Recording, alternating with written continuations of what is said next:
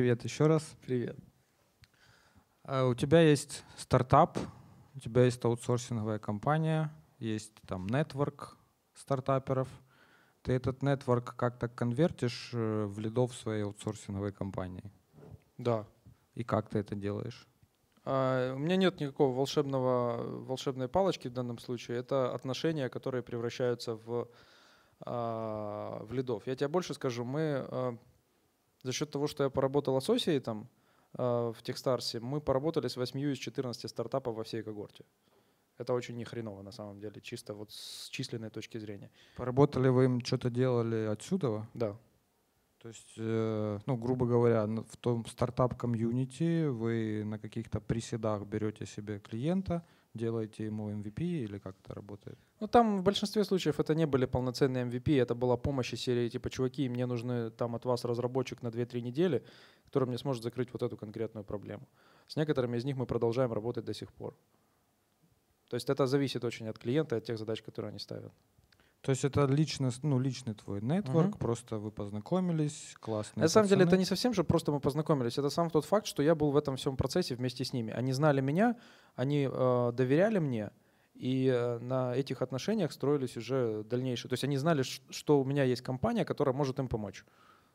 Ну, соответственно, когда они искали какое решение этой проблемы, они приходили спрашивали, ну ты можешь с этим помочь? Я говорю, да, мы можем с этим, но с этим не можем.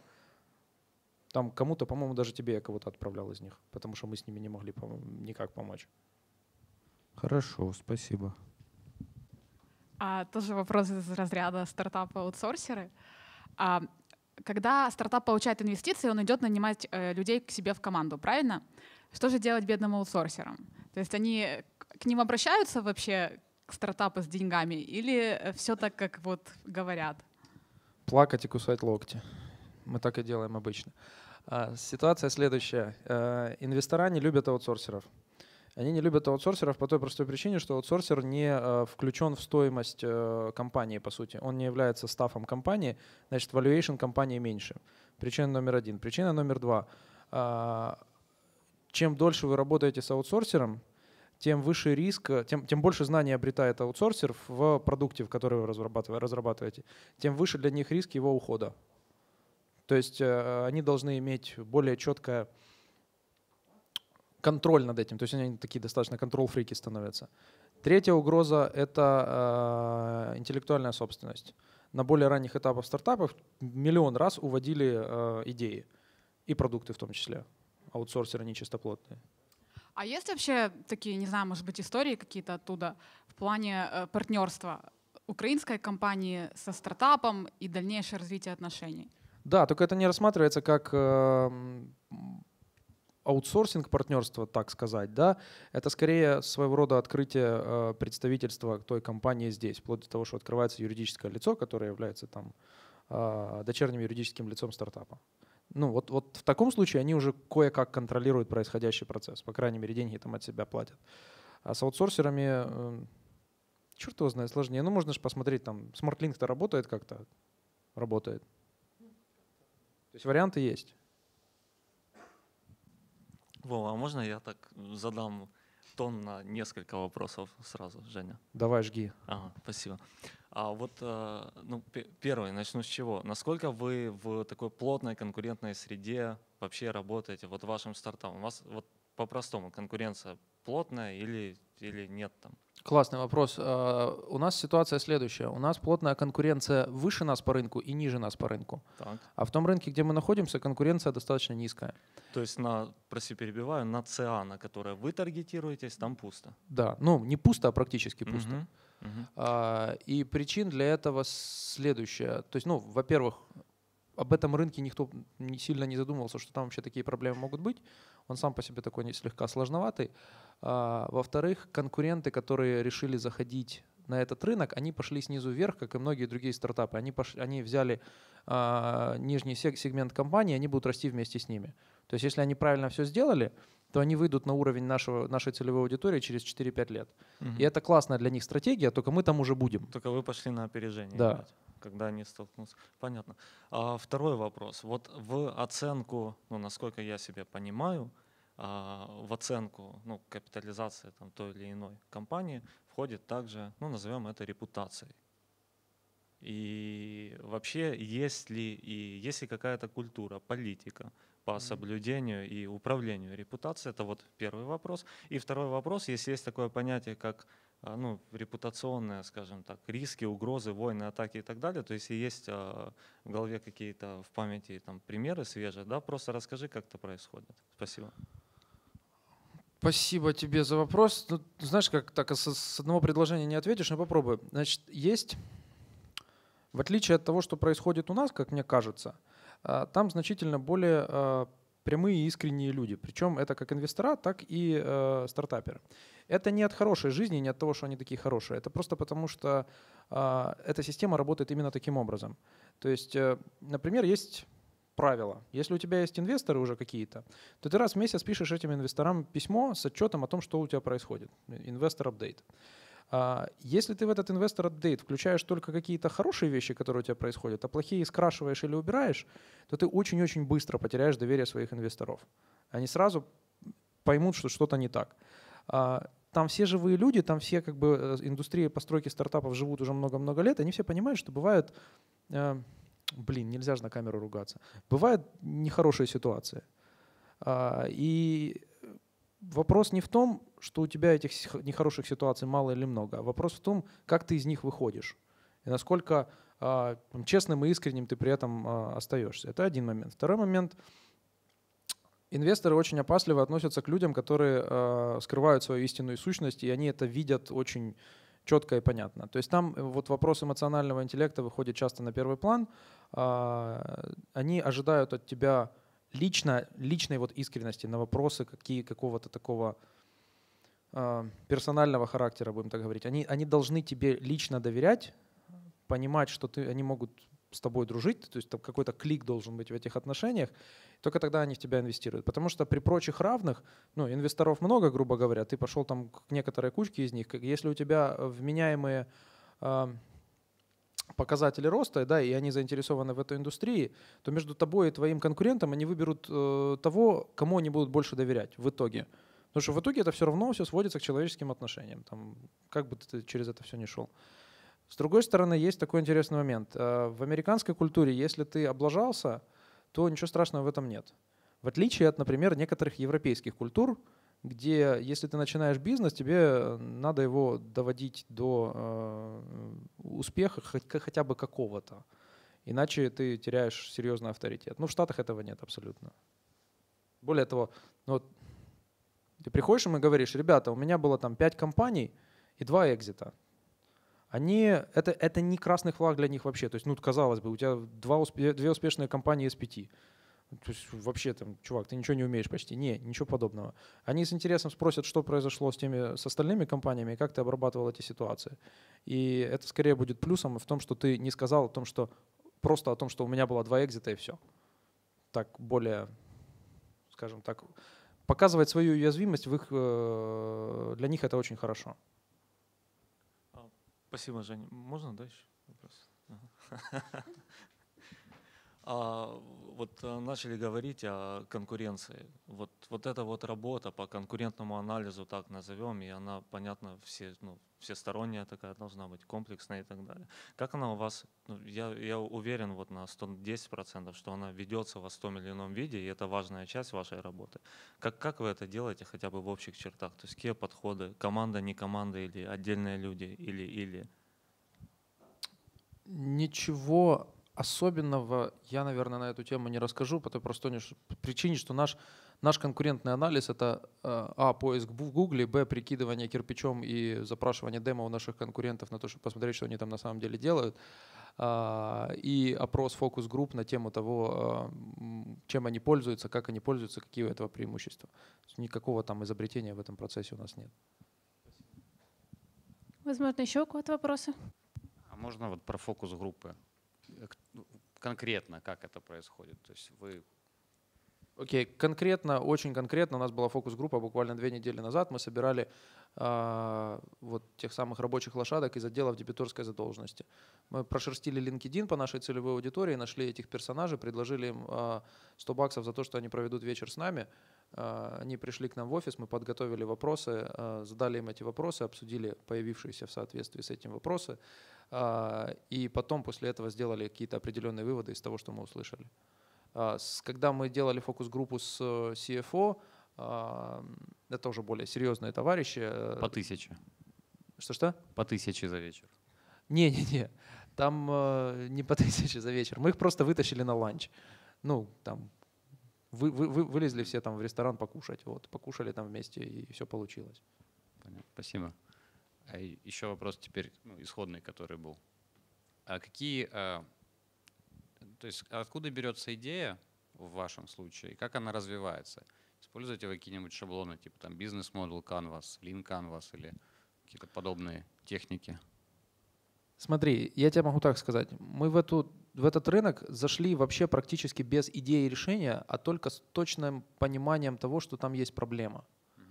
А потом на основе исследований мы вышли на то решение, э, которое мы считаем эту проблему решает. Соответственно, дальше нам надо это подтвердить, и если подтвердится, то все хорошо, дальше масштабировать. А, Конечно, в этом процессе используются все там тулзы, которые возможны, в том числе и бизнес-модел Canvas и все, что хочешь. Единственная ситуация, что тот же конвасик э, у нас менялся раза четыре э, в процессе. Потому что менялись бизнес-модели, менялись модели прайсинга, менялись рынки, на которые это ориентировалось в течение года, который существует стартап. Но я к нему присоединился там только недавно, пять месяцев назад. Женя, а что можешь сказать о... а, Есть ли вообще какая-то разность, я не знаю, ментальная и в культуре работы и подобном у, между разработчиками, тех, которых ты в Штатах встречал, и тех, которые, ну вот здесь, там, я не знаю, у нас, да, среди нас, у тебя в команде, в других аутсорсинг компаниях и так далее. В чем все-таки, на твой взгляд, такие ну, т- основательные, да, значимые отличия? Я просто я приведу пример. Вот последний раз, когда встречался с интересным человеком, разработчиком, который из долины, папа работал в HP, мама в Apple, двоюродные братья сейчас в Apple, парню 22, он синер разработчик и так далее, у него он работает там по рейту там 120 долларов в час в нескольких компаниях, еще успевает свои проекты пилить и так далее. Очевидно, что человек как бы очень высокопродуктивен, и, и, к, и к тому прочему, раз у него столько как бы а, коммуникации замкнуто на нем с разными ну, продуктами, клиентами и так далее, очевидно, что он еще очень ком- коммуникативен и вообще знает, чего делать, как расходовать свое время и так далее. Но это мой вывод, это мне так показалось, что какая-то уровень инфа- инфантильности, если так можно сказать, не в плохом смысле слова, да, он там был пониже. Более они такие прагматичные, настроены на результат и так далее. Вот что ты скажешь по этому поводу? Спасибо. Я, наверное, с тобой соглашусь во многом. А, Там, смотри, несколько моментов. А, Во-первых, представим себе ситуацию с американским типичным программистом. Американский типичный программист средний, а, он, в принципе, зарабатывает ну, где-то около того же, что зарабатывает там неплохой менеджер или там работник, я не знаю, бухгалтерии или что-то в этом роде. Ну, не может не бухгалтерии, но какой-то. То есть э, там разница зарплат с зарплатами всех остальных людей не такая большая. Такие то- точно так же, как и ожидания от этой э, э, зарплаты. А, И в начале своей жизни эти товарищи набирают определенных кредитов. Например, ну, пошел ты поучиться в MIT, вот так раз, и у тебя 150 тысяч долга, а тебе их отдавать в ближайшие там, 10 лет. А, Соответственно, у них значительно более высокая мотивация на то, чтобы эти деньги зарабатывать и повышать эти свои рейты. А теперь посмотрим на украинского программиста, который, как только начинает зарабатывать больше полутора тысяч долларов, в общем-то даже не знает, куда эти деньги тратить. Или начинает становиться хипстером, и, и все остальное с этим связано. А, К сожалению, правда, у наших людей нет, э, скажем так, я по себе могу сказать, просто я когда рос, да, у меня, мы жили в очень небогатой семье, очевидно, как и многие, наверное, здесь присутствующих, и там мама учитель, папа врач. А, И я, наверное, даже у себя в голове не сильно мог представить, э, что я когда-то буду там зарабатывать. Ну, потому что то, что я видел, это вот мои родители, да, где-то сильно больше этого. А когда ты начинаешь это делать, то уровень твоих притязаний и желаний, он на самом деле достаточно ограничен. То есть ты не видишь дальше э, своего носа. Соответственно, ну нафига ему напрягаться? Если он может сидеть в этой прекрасной аутсорсинговой компании и практически ни черта не делать на каком-нибудь большом проекте и зарабатывать свои там две, не знаю, или с чем-нибудь там еще тысяч, зачем? А, вот, это один момент, отвечая на твой вопрос. То есть я даже где-то близко соглашусь. Второй момент относительно стартапов. А, нельзя сравнивать тех, кто работает в стартапах там он-сайт, и тех, кто работает в стартапах удаленно из аутсорсинговых компаний. Тяжело сравнивать. Почему? Потому что э, командная работа вот в одной близко приближенной компании, там даже три средних таких программиста, с, работающих вместе, которые вместо того, чтобы идти домой, идут куда-то пить пиво вместе и фигачат по ночам, потому что их интересно их прет, они будут более эффективны, чем команда из пяти аутсорсеров. Проверено. Именно это одна из причин, почему они, собственно, и не хотят э, на аутсорс ходить. Эм, вот. Поэтому как-то так. Опять же, вот те вещи, которые я сказал, они не распространяются на всех однозначно. То есть есть люди, которые э, способны с более там, высоким эмоциональным тем же интеллектом или с пониманием ответственности, отношения к работе, они будут работать хорошо и тут, и там. Как-то так. У меня вопрос про ваш стартап. А, я, как я поняла, еще продукта нет, правильно? Есть первая версия продукта, на нее сажаем первых клиентов, вторая версия продукта пишется. Ага. Вопрос про маркетинг. Что вы делаете и насколько вообще это важно для инвесторов? В данном случае ничего, потому что это в данном сегменте это прямые продажи, прямые enterprise продажи. А, то есть э, мы будем приступать к маркетингу через пару месяцев, когда подпишутся несколько клиентов, и у нас немножко освободится ресурс для этого. Пока толком ничего, у нас есть сайт и все.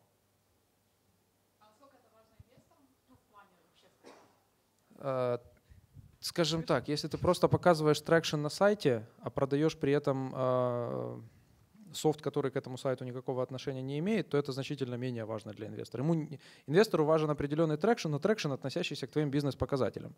Если у тебя э, SaaS-решение, которое ты через этот сайт продаешь, то понятно, что traction по сайту — это очень круто. А если это просто сайт-визитка, то, ну, так, не очень круто. Они больше на продажи будут смотреть. Угу, спасибо. Еще вопрос по поводу инвестиций. А, если убрать, ты э, говорил уже про личностные э, характеристики, да, что это больше всего влияет на там, инвестировать или нет в стартап. А что еще влияет ну, в плане сейчас? То есть какие технологии пользуются, наверное, самой большей популярностью, какие бизнес-модели, вообще куда идет мир? Не, вряд ли я на это отвечу. Так уж вот прям слишком широкий вопрос. Но попробую. В Штатах, во-первых, давай так, я не говорил, что как бы личный контакт это самое важное в принятии решения по инвестициям, ни в коем случае. Они в первую очередь все-таки смотрят на показатели компании и на команду. А, вот. По второй части вопроса. Очевидно, сейчас есть трендовые технологии, э, которые там в хайпе находятся. Это там Big Data, Artificial Intelligence, чат-боты, вот это все. А, вот. Но этот хайп будет спадать скорее в ближайшие несколько лет. А, поэтому не факт, что там будут инвесторы. А на самом деле инвесторов в разных э, бизнес-отраслях э, огромное количество. То есть там есть фонды, специфически нацеленные на, допустим, финансовую индустрию, на маркетинг, на там какие-то консюмерские продукты, так, на e-commerce и так дальше. Вот. Их там в каждой индустрии хватает более чем. То есть, э, скажем так, менее, менее важно сейчас делать что-то модное, чем делать это хорошо. Make sense? Женя, еще два вопроса. Давай, жди. А, ну, во-первых, а, мне вот так лично, да, персонально показалось. То есть вот пару лет назад мне кажется, что стартапов, которые целились на такой, ну, масс-консюмер маркет, их было, ну, не то, что было, я не знаю, больше или меньше, да, но они, мне кажется, пользовались популярностью в СМИ, а мне кажется, раз они пользуются популярностью в СМИ, значит, где-то там, ну, не, не просто так, как бы они популярны, о них говорили, да. То есть есть ли какой-то shift, какое-то изменение все-таки э, в создании стартапов, которые, ну, вот на enterprise, того или иного размера, да, и спадает просто твое, мне интересно, персональное ощущение, спадает ли спрос и желание делать вот это вот на масс-маркет, эти еще социальные сети, ну и прочее, прочее, прочее. А я второй вопрос задам потом, если можно. Спасибо. Хорошо, смотри. А, логика очень простая принятие решений. Если со своей идеей и своим подходом ты можешь продвинуться вверх по маркету, с консюмерского уйти на enterprise или хотя бы на mid-size, а, то ты это делаешь. То есть э, вот модные консюмерские приложения серии там новых инстаграмов, снапчатов и всего остального, это больше туда в долину. Я как бы ну, по восточной части ориентируюсь более вменяемо. Но даже если возьмем пример Slack, например, если это заходит как э, мессенджер для э, совсем маленьких команд или одиночек, или если бы они начали заходить с мобильного, как делал там WhatsApp и все остальные, э, там было бы очень мало шансов на успех. А ребята поняли, есть дырка в Enterprise, пойдем-ка мы в Midsize Enterprise и поработаем там. И очень хорошо, успешно туда зашли. Те же решения, вот мы, мы в нашем стартапе приняли то же самое решение, по большому счету. Мы работали на а, микробизнесах до 3 миллионов, а потом посмотрели наверх по, по маркету смотрим, о, а там та же проблема. О чем мы здесь тусим? Вверху всегда больше денег. Чем выше идешь, там всегда больше денег. И, ну, эту тенденцию хватает всех, кто может, может ее схватить на самом деле спасибо большое за ответ. И я с прошлого понял, что вот execution важен, да, и движение важно, и вот вы меняетесь в процессе, там можете менять CA или mm-hmm. расширять ее. И второй вопрос вот насчет хайпа, да, насколько я понял, ты говоришь через пару лет, ну вот хайп, который, который мы все знаем, да, big data, там, machine learning и так далее, и так далее. То есть, ну, ты, ты так э, упомянул, что, возможно, он будет спадать и, и почему. Я вот э, хочу еще спросить, да, дополнительное мнение. Вот последнее, что попадалось в глаза, речь идет о следующем. То есть есть там четверка, пятерка самых крупных компаний, там Apple, Google, а, Alphabet и так далее, которые заинтересованы вот в этих технологиях, хотят приобрести как бы IP а, как можно раньше. Да? При этом они скупают, то есть происходит acquisition стартапов еще до того, как рынок вообще созрел и создался. То есть решения еще нет. Я так могу предположить, что они покупают команды и даже, ну, они покупают вообще еще не проверенные гипотезы, но просто людей, которые начинают проверять эти гипотезы. Да? Ну, и у меня вопрос, является ли это причиной того, что ты говоришь, что хайп будет спадать, потому что действительно эти технологии, мне кажется, со временем будут доступны все меньшему числу людей, и происходит консолидация рынка еще до того, как рынок, в принципе, произошел, состоялся. Спасибо. У тебя там два вопроса получается по поводу, собственно, хайпа и спадания э, вот, этих, вот этих штук. И во второй вопрос по э, аквизишенам, ранним аквизишенам от больших игроков.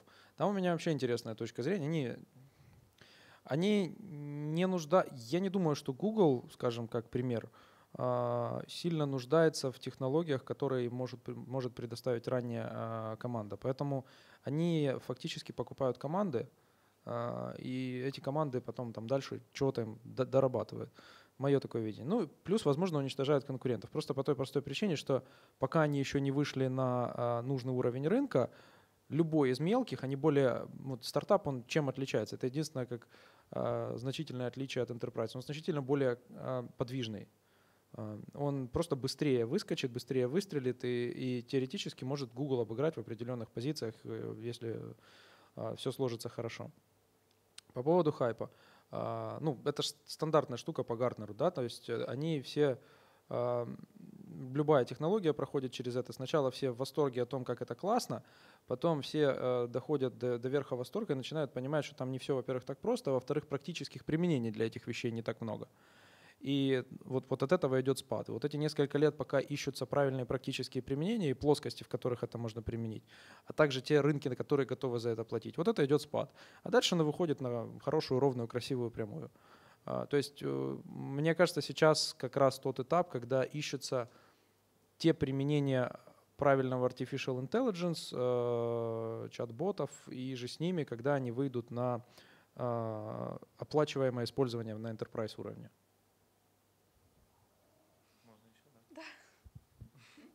Раз можно еще, то да. А, хорошо, вот если про продолжать, да, вот э, твоя точка зрения, ну, во-первых, на IBM Watson, и если... Ничего про них не знаю вообще. Окей, хорошо. А, ну, я, я тогда чуть шире задам вопрос.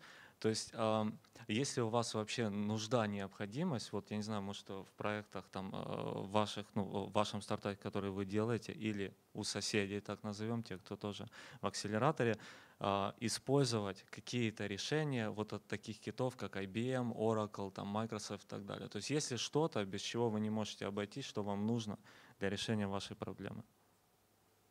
Ну, я не могу вспомнить какой-то сервис, который нам прям вот нужен, нужен, и мы его сами не можем написать. С другой стороны, у любого enterprise, который ты придешь в Америке, они все, что могут отдать на SaaS, они все отдадут на SaaS. Все, что они могут отдать на аутсорс, они отдадут на аутсорс. У них с этим все очень просто. А, поэтому там наверняка этими вещами пользуются. У вас же SaaS-решение, правильно? Мгм. По подписке. А, В B2B. Да.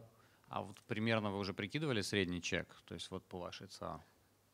Мы еще не определились до конца с, со схемой прайсинга, Мгм. которая зависит от многих факторов. Во-первых, вовлеченности нашей сервисной команды в процесс, а она там есть. А, И как только у тебя появляется сервисный компонент э, в SaaS-решении, как он есть у Zenefis, у этих, как их, господи, там целый ряд платформ, которые решают там определенные бизнес-задачи, они кроме платформы предоставляют еще сервис. А, Так вот, если вовлечен сервис, там совсем другая система прайсинга. Есть, это, это не, не та подписка, где ты пришел, заплатил 39,99 в месяц и типа пошел радоваться. Там скорее будет что-то типа а, цена за одного агента, которого ты подключаешь к этой системе, варьируется в зависимости от количества и размера инвойсов, которые тебе проходят через твою систему. Либо это а, цена, зависящая от э, общего ревеню, которая проходит через, э, через систему. Это самый оптимальный вариант, потому что если мы можем деливерить сброс э, среднего времени оплаты инвойса на определенное время, то мы полностью оправдываем а, некий процент э, от ревеню, который считается нашей типа лицензионной оплатой. Э, Я понял, что еще много С всего. прайсингом там сложно, да, там Да. реально не- не просто. Ну, но все-таки ну, вот, понятно, что, что себестоимость будет меняться в зависимости от того, сколько мы сервиса будем привлекать. Но на стадии, когда вы определяете каналы продаж, а, вы же должны прикидывать примерный там LTV по клиенту, которого вы сможете привлекать, будет ли оно вообще окупаться. А Смотри, в нашем случае LTV вообще прекрасен. Почему? Потому что наша система, как только туда э, ты заходишь, она становится очень стики, то, что называется, очень прилипучей, от нее тяжело избавиться. То есть э, мы пока рас- рассуждаем на тему э, LTV чисто в теоретическом смысле, потому что у нас там только первые клиенты подключаются. Но по нашим допущениям, э, ну, черна вообще практически, черн рейта вообще практически никакого не будет. Ну, потому что отказаться от нее очень сложно. Она в- как бы вставляется в инфраструктуру внутренних систем таким образом, что отрезая ее, ты отрезаешь полностью процесс э, э, сбора дебиторки. То есть, ну вот, вот как-то так. Это одно из преимуществ, на самом деле, этого конкретного стартапа.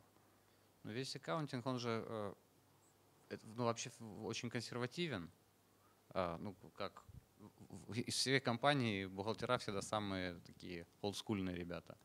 А, есть э, Salesforce, который как раз middle сегмент закрывает практически все хотелки, которые там только могут быть. А получается, у вас путь будет через интеграцию с ними или Salesforce — это только недавно ставшая ERP-системой, давай так говорить. Основные ERP-системы, которые используют, это CRM в первую очередь Salesforce. Основные ERP-системы, которые используются на э, этом рынке, на который мы смотрим, это Intact и NetSuite. А, Ну, там еще SAP иногда подключается, Oracle и всякие вот такие вот товарищи. То есть это немножко другие игроки. И наша задача с ними интегрироваться, забирать у них данные и потом предоставлять функционал по работе с этими данными. Причем самый смешной эпизод из этого всего. а, ну, вообще смешно, я прям сижу, смеюсь, как видите. А, В том же NetSuite есть э, часть, э, NetSuite, NetSuite, ну неважно, есть часть функциональности, которая автоматизирует те вещи, которые автоматизируем мы. Проблема только в том, что она там на- написана так сложно и так недоступно, что консалтеры, которые занимаются установкой и настройкой NetSuite, приходят и говорят, не, извините, мы не можем это сделать, мы пошли после двух недель попыток. Не говоря о том, чтобы это было а, интуитивно понятно, использовано ребятами из, а, а, из отдела дебиторской задолженности, которые, как ты правильно говоришь, звезд с неба не хватает. понятно. Окей.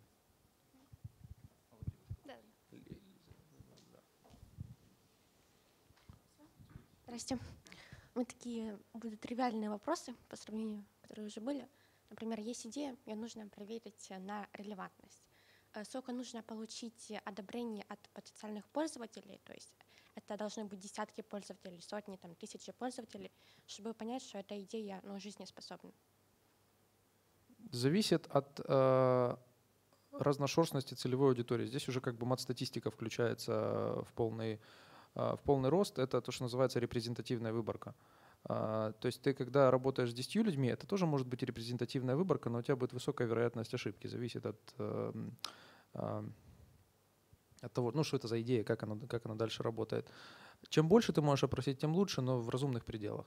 Грубо говоря, если ты делаешь, э, не знаю, консюмерское приложение для абсолютно там среднего товарища, а, то я бы ввел речь о э, там сотнях, скорее, сотни около того.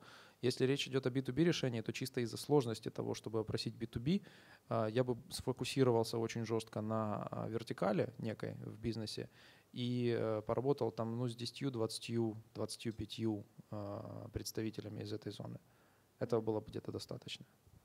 Там а просто вот тебе сразу очень, очень понятные тенденции станут. То есть наша фокус-группа, мне она вообще, мы когда проводили, и она меня там жестоко обрадовала. Первая фокус-группа у нас было 4 человека, 4. Мы плакали горючими слезами, потому что ну, это не выборка, это несерьезно. Но когда эта не выборка стала говорить э, в один голос одни и те же вещи, стало понятно, что там есть тенденция. Дальше оставалось ее чуть-чуть подтвердить. А вот следующий вопрос. Скажем-то, я еще новичок в этой стартаперской этой тусовке. Да. Скажем так, на основании чего э, собираете данные? То есть, э, например, рассказывать потенциальному пользователю рассказ, либо презентовать ему макеты, либо показывать уже какой-то начальный прототип, на основании чего собирать угу. данные?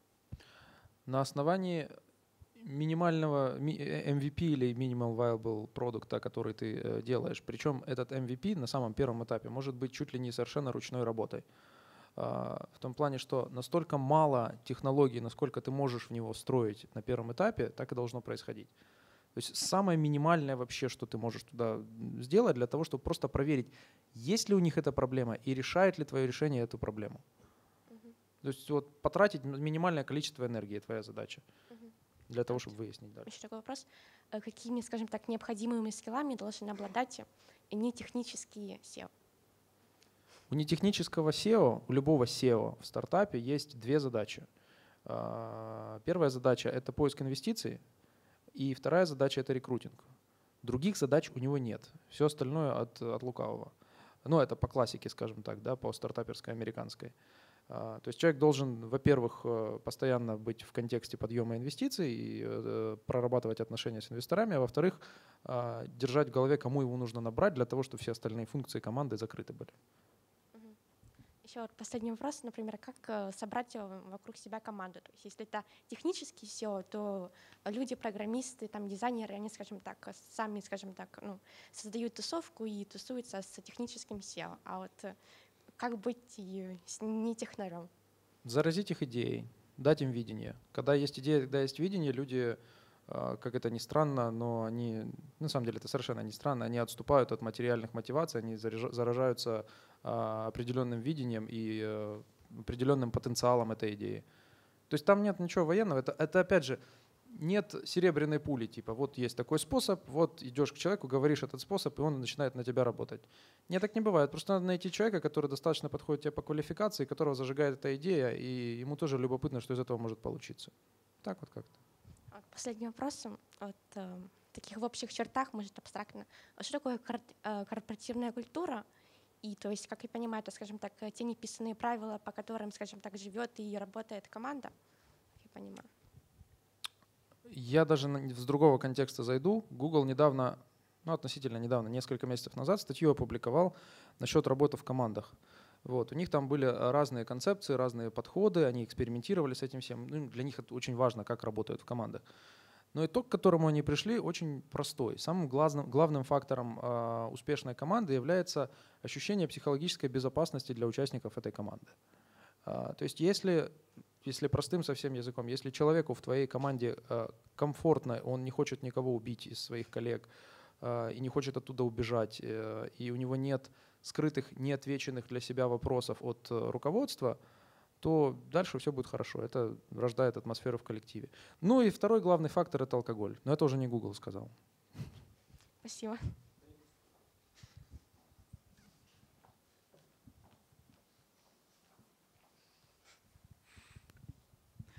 Женя, ты сказала, что со своим стартапом вы хотите быть единорогом.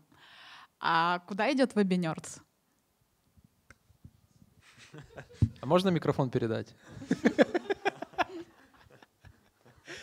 А, э, к единорогам не дойдет, но к... Я не буду говорить какие-то конкретные цели, но мы идем в рост. Э, Останавливаться пока не очень собираемся. Вот. А, В рост количественный и качественный в в первую очередь, наверное, все-таки. Ну, мировое господство — это как результат просто. Я просто, э, ну, э, в общем, у вас на сайте Webinerds написано, что вы работаете для старта со стартапами, для стартапов, что, в принципе, и понятно, а, ты Ага. же там. А, Но, но вот вопрос по поводу стартапов. Ну, по-моему, вот эта вся, вот ты задевал тему там э, вот этих новых технологий в плане того, что там пузырь лопнет. По-моему, вообще пузырь всех стартапов скоро лопнет, и они будут не стартапами называться, но как-то по-другому, нет? Не. Будет спад однозначно, будет 2008 еще один. Но стартапы как концепция, они живы уже не первый десяток лет. Они продолжат. Это просто принцип ведения бизнеса. Это просто когда ты а, выходишь на рынок и растешь экспоненциально вместо того, чтобы постепенно. Тем самым проверяя некие гипотезы. На самом деле я считаю, что это вообще совершенно... Стартапы сами по себе — это офигенно гибкая штука, единственная, которая защищает этот мир от полнейшего господства корпораций. По той простой причине, что ни одна корпорация не способна удержаться с этим пейсом, ну, который стартап показывает. Это просто невозможно теоретически. Поэтому они сейчас даже не пытаются. Поэтому сейчас вся философия стартапа, э, ну, вот этой индустрии сводится к тому, что ты э, берешь идею, ты выводишь ее на масштабируешь ее, выводишь ее на классный уровень, после этого тебя покупает корпорация, потому что корпорация это на самом деле дешевле, чем пытаться эти штуки где-то сгенерировать внутри себя. Оно у них не работает таким образом. Поэтому я не думаю, что сама индустрия вымрет. Возможно, а, вот что может произойти и произойдет почти наверняка. А, Уменьшится количество инвестиций в Штатах. Уменьшится почему? Потому что те фонды, э, которые э, там собрали по с- по 50, по 100 миллионов и наделали глупых инвестиций, э, они попрогорают, и те, кто давал деньги на эти фонды, второй раз этих денег не дадут. Э, Уменьшится количество фондов, но это не значит, что индустрия пропадет. Это просто значит, что э, чуть меньшая прослойка хороших стартапов будет эти инвестиции получать. Возможно, кто-то хочет задать один из последних вопросов.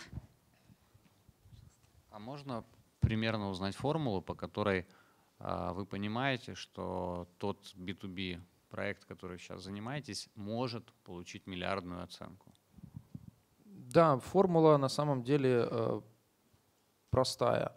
А, В этой индустрии, в э, финансах, ну то есть речь идет о э, accounts receivable, accounts payable и всем, всем остальном, там мультипликатор на данный момент э, 6,5. Мультипликатор означает, что, ну 6,5-7, означает, что в случае экзита вы получаете в 6,5 раз больше вашего годового ревеню. Соответственно, для того, чтобы стать миллиардом, юникорном, нам надо получить годовое ревеню в 150 миллионов. А, Чтобы получить годовое время в 150 миллионов, уже дальше считается, какое нам нужно количество клиентов, а, которые платили бы там определенные суммы денег за, этот сервис. И, в принципе, это достаточно легко раскладывается в план, в котором можно видеть, когда мы этого сможем достигнуть и что нам для этого нужно. Но в каждой индустрии эти мультипликаторы разные, как бы, и дойдем мы до этого или не дойдем, непонятно, потому что есть вероятность, что экзит будет раньше. А где можно посмотреть эти мультипликаторы по отраслям? Понятия не имею. А откуда вы знаете этот? семь? Обсуждали, кто-то мне ляпнул. Спасибо. Ну, Очень классная формула. Спасибо. Ревеню. Ревеню. Учитывается, но э, подразумевается, что на этапе экзита ты уже прибыльный. Там есть нормы прибыли. Ну, то есть, если ты этим нормам прибыли не соответствуешь, то, соответственно, к тебе этот мультипликатор не применяется.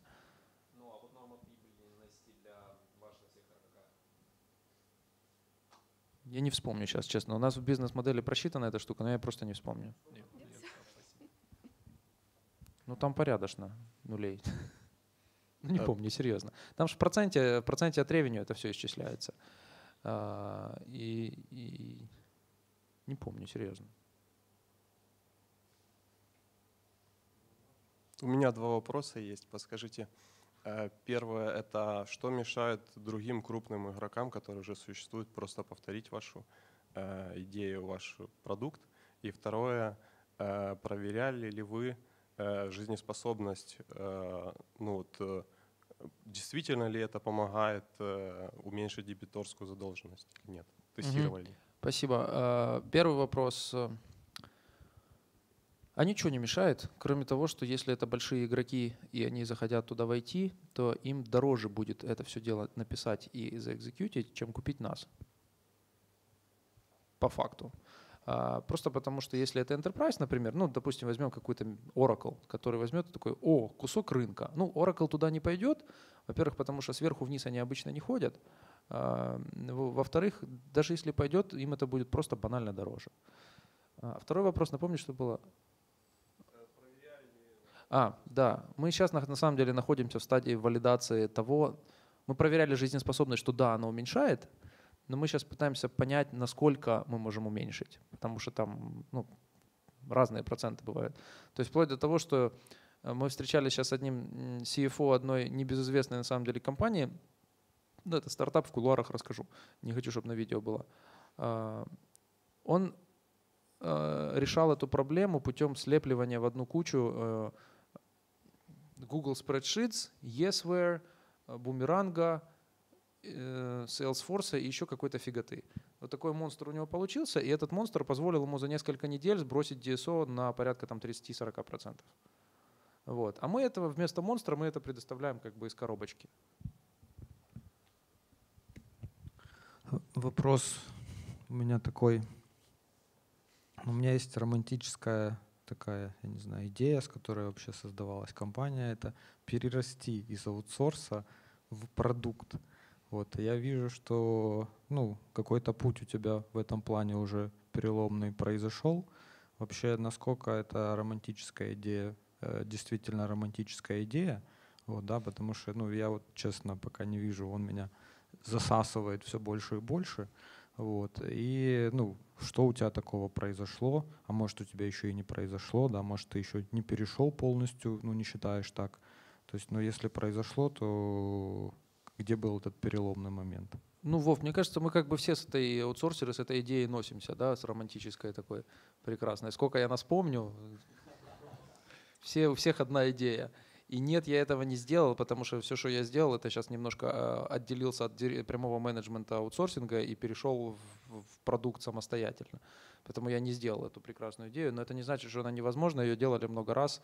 А, правда, я не, не, не до конца понимаю, как именно это лучше всего сделать, по той простой причине, что мне кажется, фокус это ключевое понятие а, в данном случае – вот что ты будешь делать? Вот начнешь ты продукт, у тебя будет полкоманды сидеть делать продукт, а полкоманды аутсорсить. А потом у тебя закончатся деньги, у тебя будет вариант либо продолжить эти деньги зарабатывать, а, пересадив полкоманды с продукта обратно на аутсорсинг, а, либо уволить вторую половину команды, а первую уговорить работать за бутерброды. Вот. Просто если по крайней мере, э, фаундерская команда из стартапа должна уходить на полноценный фокус на стартапе. То есть ты как CEO, если ты хочешь продуктироваться, да, то тебе надо на кого-то передать, на Юлю там, передать весь менеджмент и сказать, я пошел туда. И поднимать э, инвестиции, собирать команду отдельно, взять с собой своего технического лида и тоже сказать ему, что никаких больше аутсорсинг проектов. Только так. Ну, мне так кажется, я, я могу ошибаться. Еще вопросы?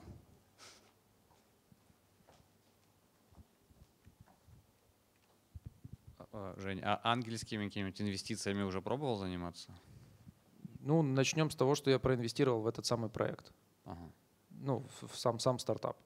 А, я все, я понял, прослушал. А кроме того? Не, я не говорил об этом на самом деле. Кроме того, э, я не особо этим занимаюсь, честно говоря, просто потому что ну, это отдельный род занятий. Вот я когда, короче, стану э, седым и богатым, буду сидеть на своей вилле в Италии, тогда я буду заниматься ангельскими инвестициями. А пока, mm. пока я на яхту себе хочу насобрать. Понятно. Спасибо. Не хотите задать вопрос? Вон Макс хочет, да. Привет. Привет. А, Вова тут говорил, что он, как и ты, начинал заниматься аутсорсом с идеей того, что потом перерастет в продукт. А, насколько вообще затягивает аутсорс? Есть ли смысл идти туда, двигаться в этом направлении за каким-то опытом, чтобы потом развивать свой продукт? Или, может быть, стоит сосредоточиться чисто на поиске какой-то идеи или команды, или компании, чтобы заниматься уже продуктом? Слушай, смотри, я считаю, что аутсорсинг это вполне вменяемый нормальный бизнес. Если у тебя стоит как бы э, ментальная задача построить вменяемый нормальный бизнес, который тебе будет приносить вполне хорошие деньги, аутсорсинг это прекрасный вариант. Он низкорисковый, он там на длительно э, ориентированный, и он на самом деле не самый сложный. Это не стартап. В стартапе ты носишься, ешь лапшу, живешь в палатке и носишься с глазами на выворот. А, Я считаю, что многому научиться для стартапа, занимаясь аутсорсингом, нельзя. Это я могу уже сказать из опыта по выводам из тех, которые я получил здесь. А, То есть, да, ты можешь подсмотреть, как твои клиенты, стартапы делают какие-то свои продукты или Или что. идею. Да. А, Это да, но научиться многому, потому что там совсем как бы ну, другая специфика просто.